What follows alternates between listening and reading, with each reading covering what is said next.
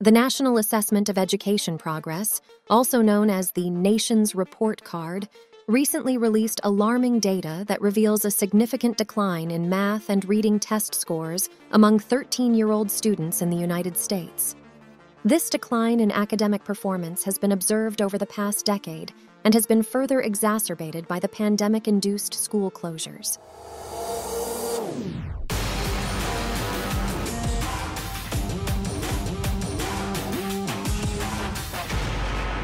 The test, conducted between October and December of the previous year, included approximately 8,700 students from 460 schools.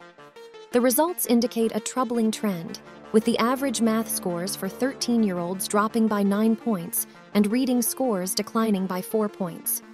Experts equate a change of 10 points to a year of lost or gained learning, emphasizing the severity of the decline. I mean, I think the problem fundamentally is that this, this country has a serious problem in math and science, and it runs through every demographic, every socioeconomic level. It runs through every, every state in the country with a possible exception, and we can talk more about this with, of Massachusetts and Minnesota. Notably, these decreases were consistent across different demographics, affecting all racial and ethnic groups, genders, and urban, suburban, and rural areas. A contributing factor to the decline in academic performance is the doubling of student absenteeism since 2020.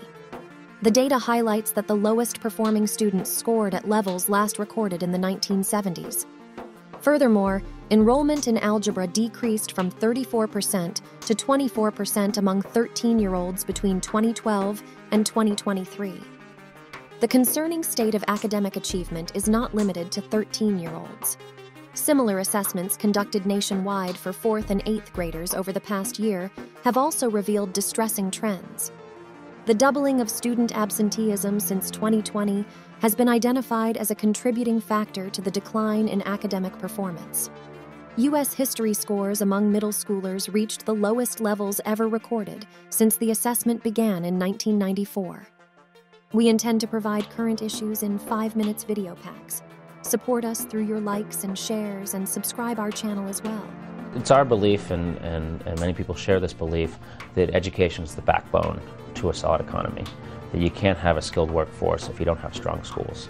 So if our schools continue to produce at a mediocre level, then we will not produce the amount of skilled workers necessary um, to fill jobs in this country, and people will go elsewhere. Companies will go elsewhere to find those skilled workers, and they already are. Additionally, the decline in reading and math scores among elementary school students further emphasizes the widespread impact of the changes in education during the pandemic.